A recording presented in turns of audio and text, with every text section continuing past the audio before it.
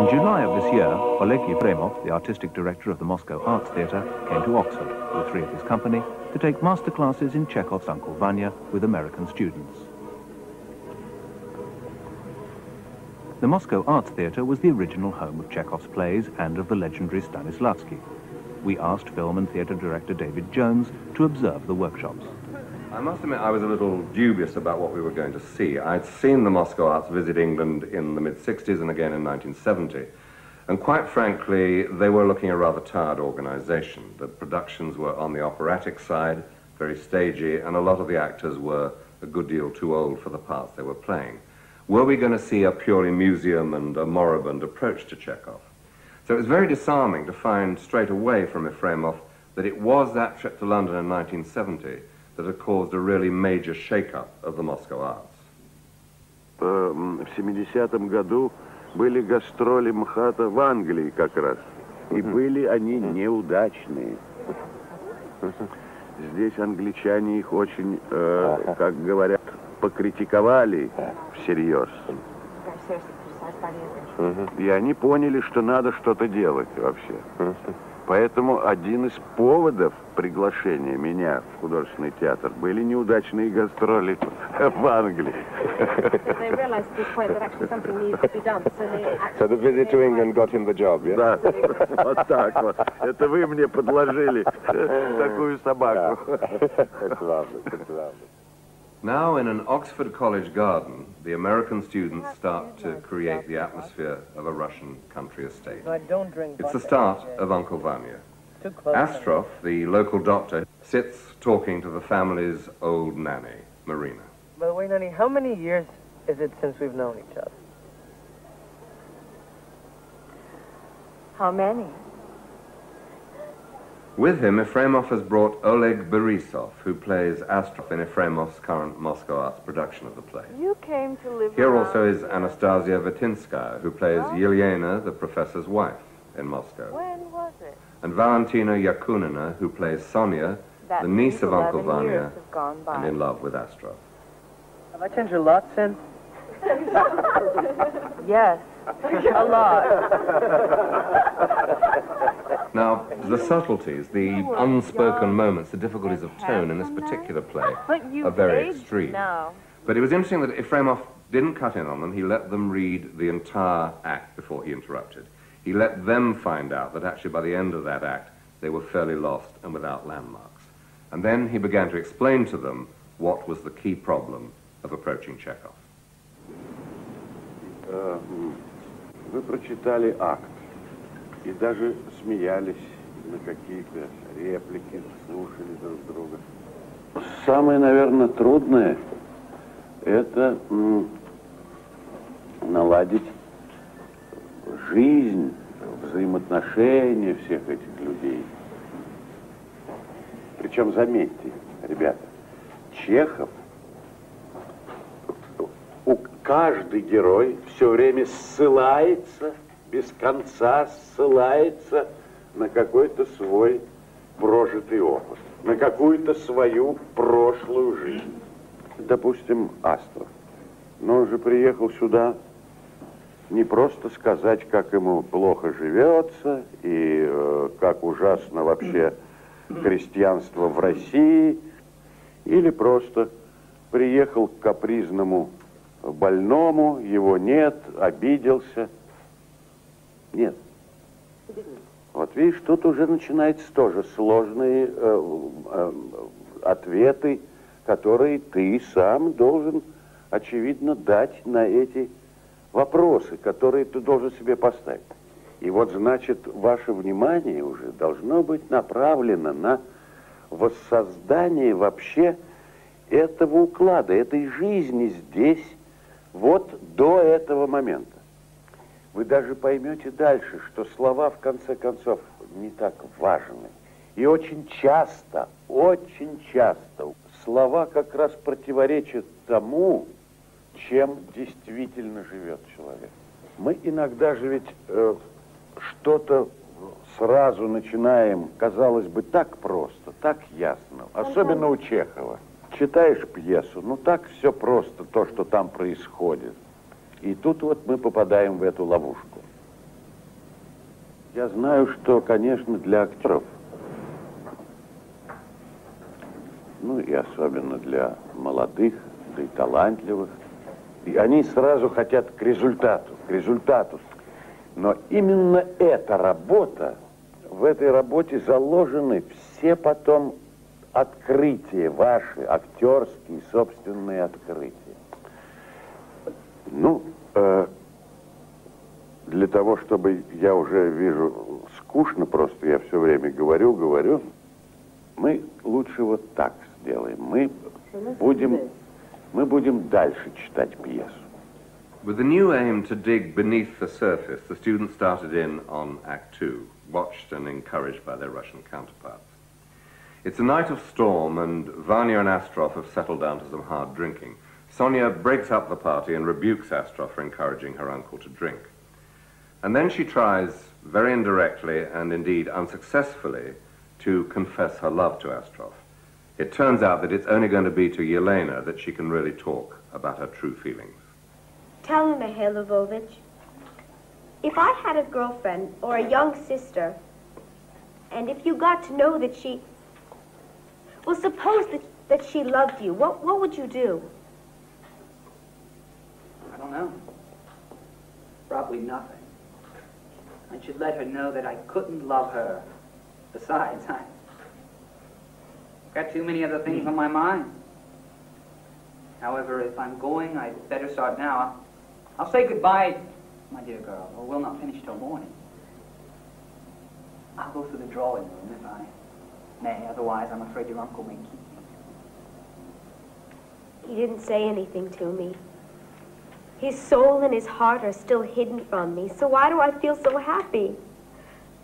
I told him, you have poise and nobility of mind and such a soft voice.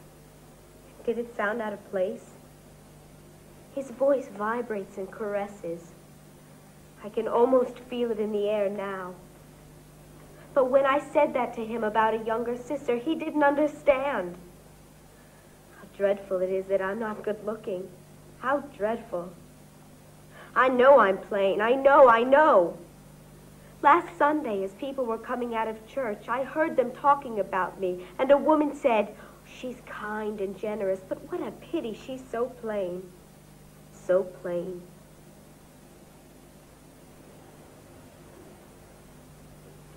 The storm's over. What lovely fresh air.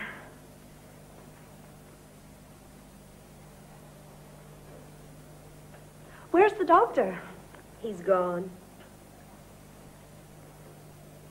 Sophie. What? How long are you going to be going on sulking with me? We haven't done each other any harm, so why should we behave like enemies? Come. Do let us stop I it. wanted to myself. Yes, let's not us be cross anymore. That's fine. I've been wanting to make up for ever so long, but I felt ashamed somehow. Oh, why are you crying? Never mind, there's no reason. Come there. There. I'm a queer creature. I've started crying, too. You're cross with me because you think I married your father for ulterior motives. If you are impressed by oaths, I will vow to you that I married him for love. I was attracted to him as a, a learned man, a celebrity. It wasn't really love, it was artificial. But can't you see that at the time, it seemed as though it was real to me? Tell me honestly as a friend. Are you happy? No? I knew that. One more question, and tell me frankly. Wouldn't you have liked your husband to be young? What a little girl you are still. Of course I should. Ask me something else. Do you like the doctor? Yes. Very much. Have I got a stupid face? I'm so happy. so happy. Now, the Russians pick up the scene earlier to show more of the interplay between Astrov and Sonia. Borisov's very interesting in his very down-to-earth, unromantic approach to Astrov. And I think that in working in that way, they were very much in tune with what Chekhov had requested. Chekhov said that in his plays, life must be exactly as it is and people as they are, not on stilts. Let everything on the stage be just as complicated and at the same time just as simple as it is in life. Я работаю, ну, вам это известно, как никто в уезде. Судьба бьет меня не переставая. Порой страдаю я невыносимо. Но у меня вдали нет огонька. Я для себя уже ничего не жду. Не люблю людей. Давно уже никого не люблю. Кого? Что мужики однообразно очень, неразвиты, грязно живут. А с интеллигенцией трудно ладить, она, она утомляет. Эти ноют, ненавистничают, болезненно клевещут. Подходит к человеку боком, смотрит на него искоса и решают, о, это психопат, или о, это фразер. Когда вот не знают, какой ярлык прилепить к моему лбу, говорят, это странный человек. Странный. Я люблю лес, это странно. Я не ем мясо, это тоже странно. Непосредственного, чистого, свободного отношения к природе, к людям уже нет. Нет и нет. Нет, прошу вас, умоляю, не пейте больше. Да чего? Это так не идет к вам. Вы изящны. У вас такой нежный голос. Зачем же вы хотите походить на обыкновенных людей, которые пьют и играют в карты? Вы не делаете этого. Умоляю вас. Вы же сами говорите, что люди не творят, а только разрушают то, что им дано свыше. Ну зачем же? Зачем вы разрушаете самого себя? Не надо, не надо. Умоляю, заклинаю вас. Я не буду больше пить. Дайте мне слово. Честное слово. Благодарю. Баста. Я отрезвел. Видите, я совсем трезв, и таким останусь до конца дней моих.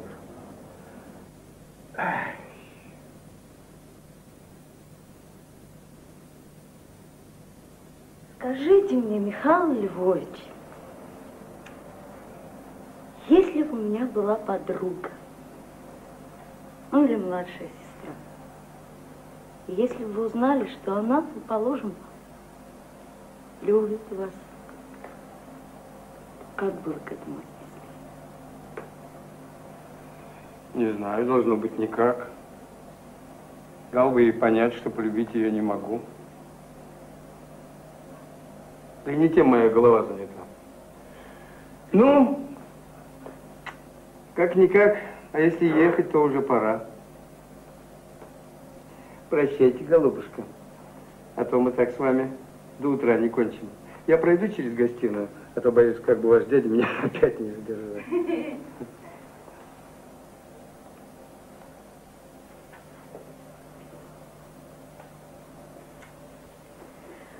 Он ничего не сказал мне. Душа и сердце его все еще скрыты от меня.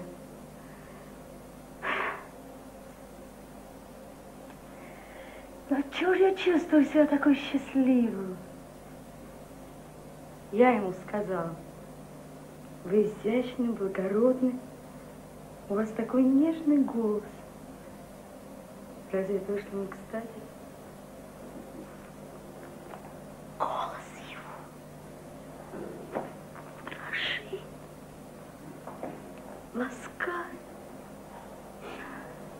Вот я чувствую его в воздухе. А когда сказал про младшую сестру, он не понял. Как это ужасно, что я некрасива. Как ужасно. А я знаю, что я некрасива, знаю, знаю. В прошлое воскресенье, когда мы выходили из церкви, я слышала, как говорили про меня. И одна женщина сказала, да, она добрая, великодушная, но что она так некрасива?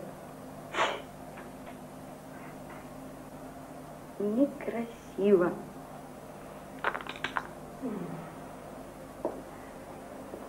Прошла гроза. Какой хороший воздух. Где доктор? Ушел.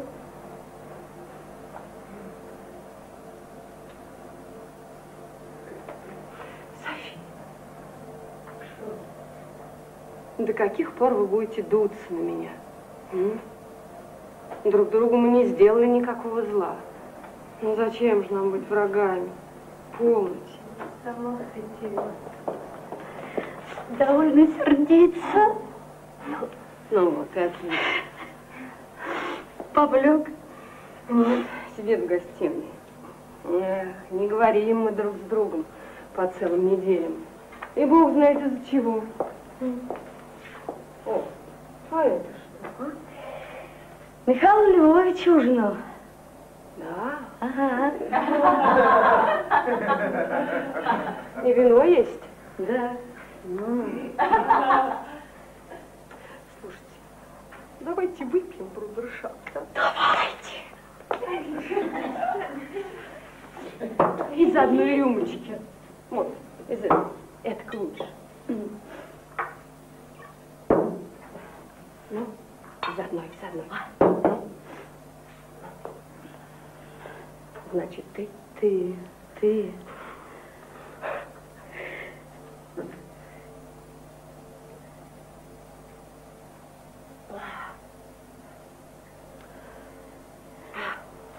Ну. Ну. Ну. Ну, давно уже хотела умереть, это все как-то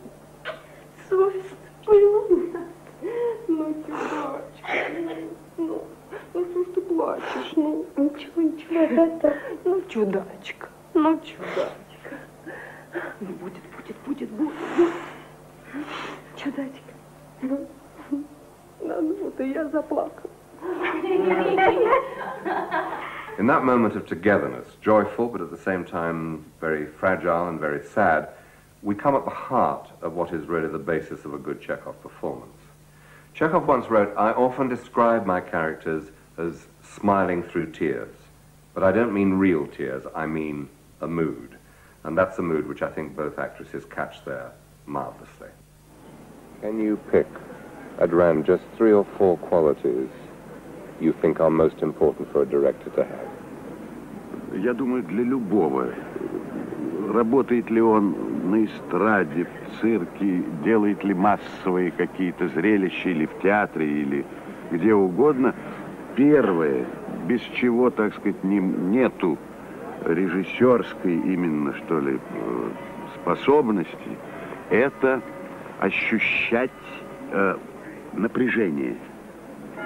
То есть он должен создавать напряжение все время. Вот это обязательное, так сказать, самое основное, самое, пускай, примитивное, но главное, что ли, способность, потому что если этого нету, нету театра, нету действия, нету этого, правильно? Мы, пожалуй, так назовем.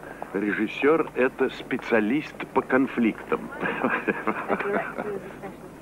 Now, that tension and conflict may well be absolutely underneath the surface and hard to unearth, became very clear as the students moved on into Act Three the next day.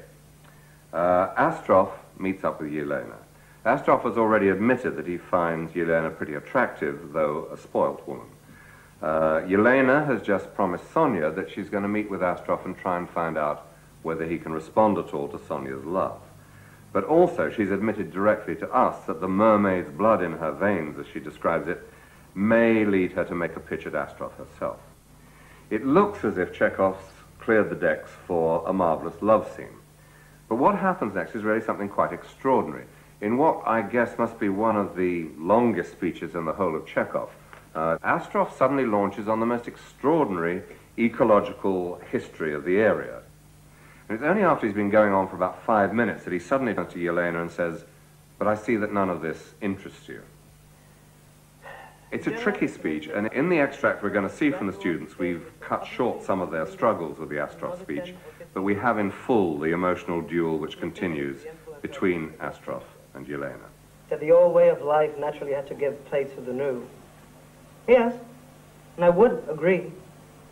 If on the site of these ruined forests there were now roads and railways, if there were workshops and factories and schools, then the people would have had been healthier, better off, and better educated. But there's nothing of the sort here. There's still the same swarms and mosquitoes, the same absence of roads and dire poverty and typhus and diphtheria and fires. Here we have a picture of decay due to an insupportable struggle for existence. It is decay caused by inertia. I see from your expression that it doesn't interest you. But I understand so little about all There's this. There's nothing to understand. You're just not interested. To be quite frank, my mind was on something else. Forgive me. I want to put you through a little interrogation. An interrogation. Yes, an interrogation. It concerns my stepdaughter, Sonia. Tell me, do you like her? Yes, I respect her. Do you like her as a woman? No. One more thing, and that'll be the end. Have you noticed anything? Nothing. You don't love her. I see it from your eyes. She is suffering. Understand that and stop coming here. There's only one thing I don't understand. Why did you have to have this interrogation? You're a sly one. What does that mean? Sly. Suppose Sonia is suffering. I'm prepared to think it probable. But what was the purpose of this cross-examination? Please don't try to look astonished. You know perfectly well why I come here every day. Why and on whose account. You know very well indeed. You charming bird of prey, don't look at me like that. I'm a wise old sparrow. Bird of prey, I don't understand at all. A beautiful, fluffy weasel. You must have a victim. I submit. Here I am. Devour me. Мне кажется, все равно актерам здесь на многие вопросы надо ответить, прежде чем суметь это сыграть. Ну, ну, например, ведь смотрите, действительно же это до безумия скучно, наверное, зрителю. Там на целую страницу, если не больше, рассказ Астрова про то, как э, нельзя истреблять леса. Ну так, э, кстати говоря, действительно, современники Чехова его уговаривали это вымороть. Ну, потому что, ну, скучно, действительно же скучно. Или что, это просто, э, да, или просто это что? То, что он наоборот, э, Антон Павлович старался как раз убирать, вымарывать, так сказать, идейные, что ли, монологи. А здесь он все-таки не остается при своем. Он оставляет вот этот весь, всю эту лекцию. Почему? В чем дело? I found it very interesting. А мне как очень интересен диалог. It's a, it's a part of life that she's not really aware of because she's sheltered in this house. It's, it's his passion. Елене так уж это может быть интересно, потому что ей же все-таки хочется что-то другое от него услышать, правда? He gets around to that. Это когда Да, да. Well, he's in a position maybe where he actually wants to tell her how much he does love her, but Ah. he can't. And so rather than leave her, he continues talking он продолжает говорить. in the hope that somehow надежде, he что can get как-нибудь around or get her он through the subtext. э, That it- текстом доберется до That it нее. becomes very clear what they feel for each other. А, И станет ясно, что они чувствуют So he's друг searching. к другу. Так что он ищет, ищет. So if that's true, then why does he screw up as soon as she... I'm just asking. Calm down. Ну, неправильно. Он как раз, он как раз и э, правильно, по-моему, он раскусил А Елену. Да, да. For me, Astroff is a man who is a doctor who is constantly dealing, dealing with the battle of life and death. His passion with the woods and the forest are the only means that he has, that he knows of, which he can possibly preserve life. Now, with Elaine, where he has neglected his other patients, he's been Он, coming here every а, day. стал обращать внимание на заниматься своими другими пациентами. Он He каждый день sees сюда perhaps the opportunity to find someone to bear his soul. to To bear his soul. Может быть, не maybe, знаю. I don't know.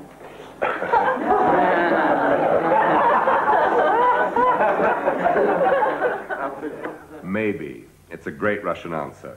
But I don't think Efremov is ducking the issue here. He's just trying to show the students just how complex the motivation of any single speech in Chekhov can be. He's trying to show how multi-layered the way in which Astrov's mind is working here is. Really, to understand Chekhov, you have to take on an awful lot of detective work. You have to take the tip of the iceberg, which is the play, and dig down and down to find what's underneath. And when you've done that work, then in performance, you have to start making choices. You have to decide which motives for you performing the character have the priority. You have to decide what kind of tone do you want to achieve with what you're doing. You have to decide, above all, how much do the characters hide of what they're feeling and how much do they reveal. Every line of Chekhov needs this kind of choice. And now Efremov, musing on the possibilities available to them, drawing some witty analogies, even on occasions in what I think is a very good way, doing a slight comic send-up of how the characters might behave, he begins to show his hand about how he feels the scene should go. Так вот, Астров, Астров. Он приехал сюда, э, если предположить, в общем-то, ради этой женщины, да еще не очень это все получается, да не очень это еще все красиво, если так подумать. Ну вот я э, приеду, там, ну, меня позвали, муж нездоров, а я-то знаю, я приехал сюда, потому что мне нравится его жена. Ну, так тогда я и попробую, может быть, э, оправдать свою ситуацию. Я все-таки врач, и у меня много своих моментов трагических, и, и я общественный деятель, и я вдруг к этому кинусь и буду, так сказать, э, пытаться это в себе культивировать. Э, Поэтому, когда его Елена вызывает и действительно обещал показать ей вот эти свои карты, значит, это есть та возможность вот этой встречи. Вот правильно ты говоришь, это, эти леса, это для меня серьезное дело в жизни и прочее, прочее. То вот, наверное, за это самое ясное мной, любимое, я и буду прятаться. Я буду, так сказать, именно сюда, так сказать, и пускать. Я буду действительно ее уговаривать, действительно буду, но самый, так сказать, эмоциональный, что ли, эмоциональный э, стимул этого всего, это будет, конечно, э, Я вас не люблю, я вас не имею никакого... Я So I- лиса, я лиса только. Вот лиса, давайте я вам Yeah. расскажу. Мне нравится, допустим, вот мне, мне нравится э, какая-то там молодая актриса.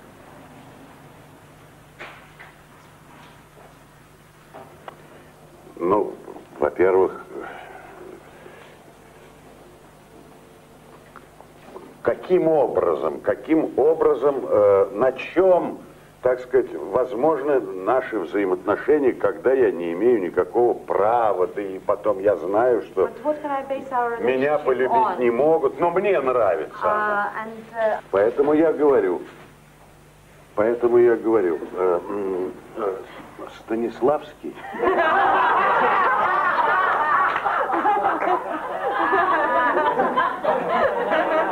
Он говорит леса. he says forest. Глядите, вот леса. Здесь я знаю, здесь я умею. Здесь я очень это все хорошо понимаю. Can you conceive of being a director if you have never acted? Do you think you can direct if you have never been an actor? Ну, наверное, возможно, но я э, признаю режиссера, который, конечно же, э, и может помочь актеру, и понимает всю его природу. И, а как можно понимать? Обязательно. Ведь э, Станиславский был актером, а Немирович не играл. Но все говорят, что это потенциально он был замечательный актер. Поэтому любой режиссер все равно должен как-то природу актерскую чувствовать, значит, должен быть. э, Мы поэтому э, учим режиссуре, э, обязательно первых два года мы учим все-таки актерскому мастерству, вы понимаете? Потому что без этого как же тогда? Towards the end of their visit, Efremov and his colleagues went off to Stratford, and there the Royal Shakespeare actors who came to see them asked if they would perform that very scene between Astroff and Yelena that we've been examining. In Borisov's performance as Astroff, there's a marvelous concentration about his speech on the dying countryside. And as you listen to it, there's an incredible word music that shows us just what we miss from Chekhov in translation. Vertinskaya treads a very fine line between a satiric approach to the character and showing her passionate side. It's that delicate tightrope act which is involved in a lot of Chekhov acting. And above all, the end of the scene has an extreme volatility of emotion. It swings from laughter to a really violent ending. And that's something, that ability to switch from one thing to another in an instant, unless you can tap that, you really can't start to perform the great Russian dramatist. Добрый день. Вы хотели видеть мою живопись? Ну, вчера вечером вы обещали мне показать свою работу. Да. Вы свободны? О, конечно. Ну, Для вас это неинтересно. Ну, почему? Нет. Э, Я, конечно, деревни не знаю, но я много читала. Мгм. Ну, теперь смотрите сюда. Вот картина нашего уезда, каким он был 50 лет назад. Темная светло-зеленая краска означает леса. Половина всей площади занята лесом. Где по зелени э, положена красная сетка, там водились лоси, козы. Я тут показываю и флору, и фауну.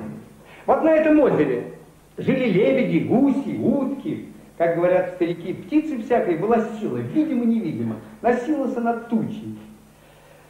Ну, кроме сел, деревень, видите, вот там и сям разбросаны разные выселки, хуторочки, раскольничьи скиты, водяные мельницы. Рогатого скота, лошадей было много. Это вот по голубой краске видно. Вот здесь на этом, э, в этой волости голубая краска легла густо. Так тут были целые табуны. На каждый двор приходилось по три лошади.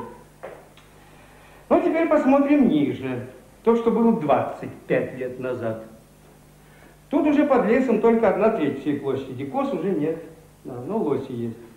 Зеленая и голубая краски уже бледнее и так далее, и так далее. Ну и переходим к третьей части. Картина уезда в настоящем. Зеленая краска лежит кое-где, не сплошь, пятнами. Исчезли и лоси, и лебеди, и глухари. От прежних выселков, хуторков, скитов, мельниц следа В общем, картина постепенного и несомненного вырождения, которому, по-видимому, остается еще каких-нибудь 10-15 лет, чтобы стать полным.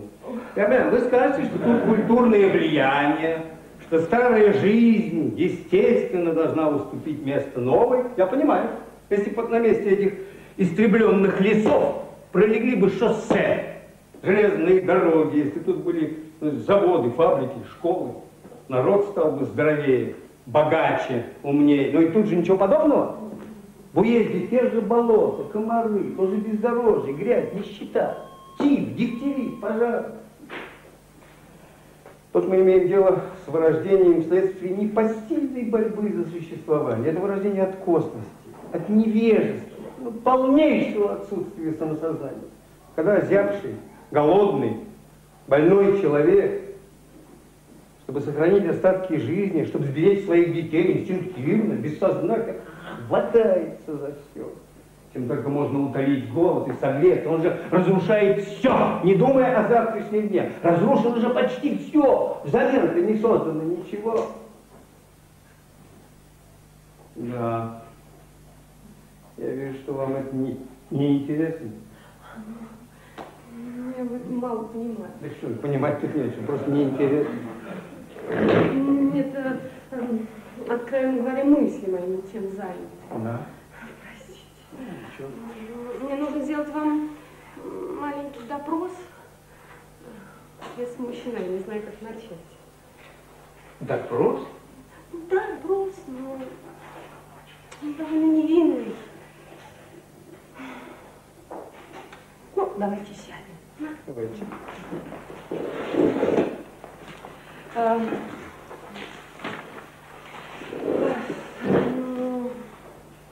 Дело касается одной молодой особы. Да. Мы будем говорить как приятели, как честные люди, без обиняков, да? да? да, да. Мы поговорим и забудем, о чем была речь, да?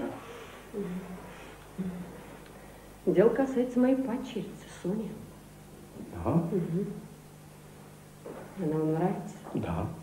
Я ее уважаю. И... Вам нравится как женщина?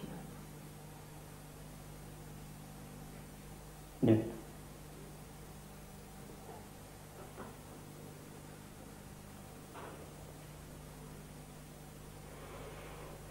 Ну еще бы адрес, ну и конец.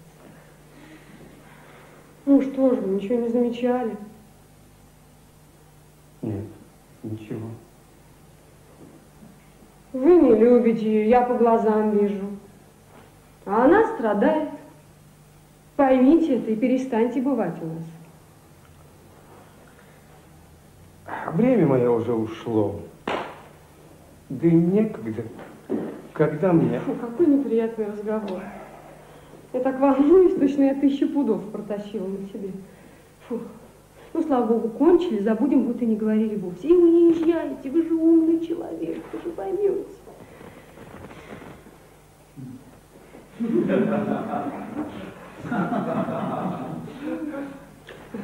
даже вся красная стала. Если бы вы сказали месяц-два назад, я, пожалуй, бы еще подумал, но, но теперь... А если она страдает, то, конечно. Вот только одного не понимаю. Зачем вам понадобился этот допрос? Вы хитрая. Что это значит? Хитрая. Положим, Соня страдает, я охотно допускаю. Но к чему этот ваш допрос? Позвольте, позвольте, не делайте удивленного лица. Вы же отлично знаете, зачем я бываю здесь каждый день. Зачем и ради кого бываю. Это-то вы отлично знаете. Хищница милая, не смотрите на меня так. Я ведь старый воробей. Хищница? Я ничего не понимаю. Красивый, пушистый хорек. Вам нужны жертвы. Ну что ж, вот я бросил все, жадно ищу вас, и вам это ужасно нравится. ужасно. Ну что ж, я побежден, вы же это знали и без допроса. Покоряюсь, нате, ешьте. Вы смотрите. Ах, вы застенчивы? Да я лучше, я выше, чем вы Я думаете. сегодня уеду, бывает здесь не буду, но говорит, где мы будем видеться? Говорит, скорее сюда могу пройти. Он какая чудная, роскошная, один поцелуй. Не целовать только ваши ароматные волосы. Ну а зачем клясться-то? Не надо клясться. Какая красивая. Какие руки. Нет, он доволен, он доволен, вы забылись. Ну, подождите, мы, мы должны видеться. Это же неизбежно. Это же неизбежно. Ты же видишь? Нет, нет, отпустите меня, отпустите. Меня, отпустите.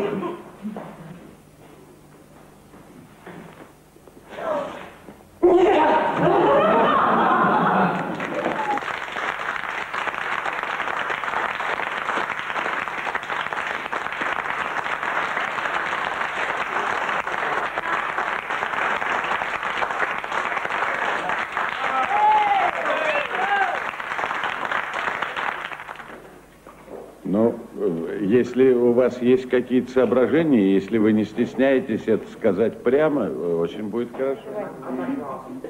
Um, how long would it take to to get a section or a scene like that from from the stage of simply being a text which you're reading on the page to the, uh, to this condition? Ну, насколько они поним- э, поймут это? Может быть, одна репетиция.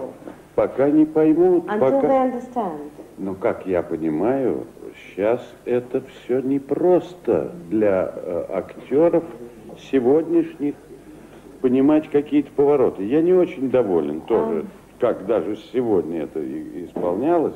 You're a hard, you're a hard man, sir.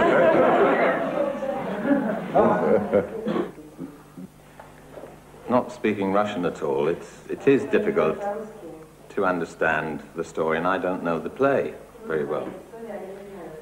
But I did think, I did feel that unless I'm misinterpreting all the Russian that I don't know, that the international language of um and er was, was quite prevalent.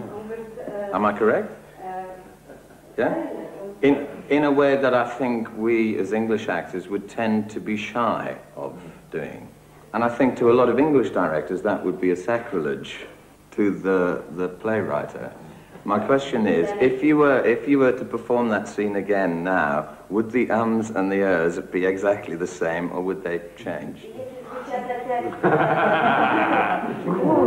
We don't. They will be different, and uh, she says we don't. We don't follow it so exactly. А, делаем. Uh, we do Даже it когда live, вот вы сейчас don't we? говорили, вы тоже же, тоже же делали. м, э, Even when you were Мысль-то speaking just приходит, мысль приходит, рождается. And when the thought is born. И тем не менее, я согласен. But the director says, I do agree. Мекать и акать надо меньше. no, but I don't agree. well, on, be, on behalf of the actors, I liked it. And I don't agree that there should be less. That it's that that gives performance its natural liveliness, because in ordinary conversation, there is a, um, a um, to use a musical term, there's a stave of non-verbal sounds and noises, and, and that's part of the design of talk. What was surprising and startling to us was the relaxed manner in which things were happening, that they were happening on what one would um, think of as a, as a smaller scale to, uh, and that was what was so exciting. That quite They were very clear. They were very Well, clear. Very clear. Is the uh, how how big is the theatre that the Moscow Arts work in? I'm, I'm just uh, wondering how you um, uh, project that relaxation and style in a in a big space. Мы уже 10 лет работали в гигантском помещении на Тверском бульваре. Но теперь мы э, возвращаемся в свое историческое помещение. И я думаю, что будет легче э, артистам и зрителям будет лучше. И если на Тверском бульваре для каждого зрителя такое кресло, и они все в одиночку сидят, то э, вот в проезде художественного театра, вот в нашем, то есть это кресло So довольно твердые, и где локти And where you put your elbows, зрителей соприкасаются. uh, the elbows of the uh, spectators touch each other. Мне кажется, в этом есть большой смысл. I think it has a good, deep meaning. Замыкается какая-то цепь. It's like the chain gets uh, closed, Мы, the circuit. мы вместе воспринимаем спектакль. So we react to a production all together. В этом есть какой-то смысл именно э, демократического восприятия искусства. Я думаю, в глобусе тоже ведь стояли вот I так think in вот the globe рядом, they used to правда? stand like this. И вместе, так All сказать, да? Ну вот.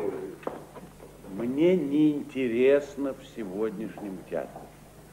На самых, казалось бы, мне говорят, гениальных постановках мне неинтересно, если А там вот. нету открытий, которые могут совершить только актеры.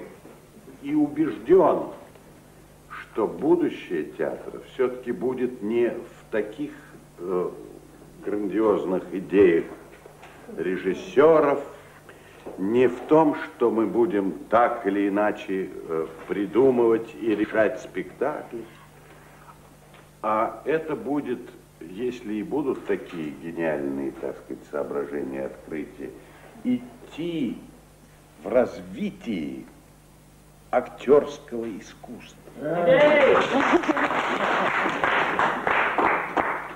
Я в этом не сомневаюсь. I don't doubt it for a minute.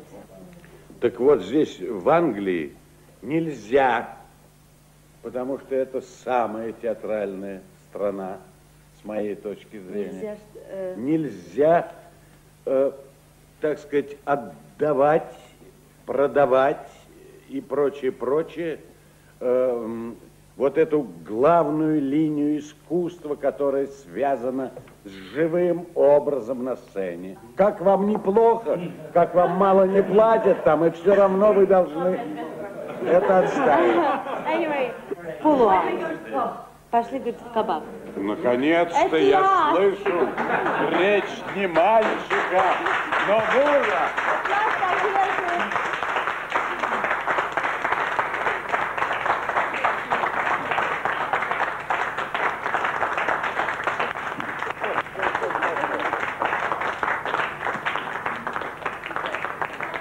Well, we've only skimmed the surface, of course, just a very few scenes from just one play. But I think in watching those scenes gradually take life, what does become clear is that the plays let us into an entire culture. What's really great about Chekhov is that he does open a window for us into Russia. Это можно и так, и так, очевидно, понимать Чехова, трактовать Чехова. Э, Я его понимаю, э, и почему, мне кажется, он и сегодня достаточно современен, он все-таки ставит перед человеком э, ну, задачу быть человеком, так вот я бы сказал.